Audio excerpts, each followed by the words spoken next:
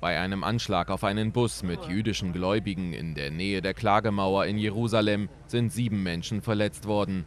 Ein Angreifer habe am Sonntagmorgen auf den Bus geschossen, teilten die israelischen Behörden mit. Sie gingen von einem palästinensischen Anschlag aus. Der Täter sei auf der Flucht. Der Anschlag ereignete sich, als Juden zum Ende des Sabbats die Klagemauer verließen, berichtet der Busfahrer. Ich hielt an der Haltestelle des Davidsgrabes. In diesem Moment begannen die Schüsse.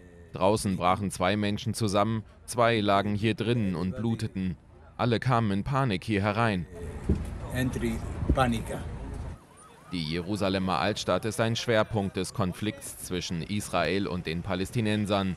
Beide Seiten beanspruchen sie für sich. Dort kommt es immer wieder zu Gewalttaten. Es gibt dort heilige Stätten von Juden, Muslimen und Christen.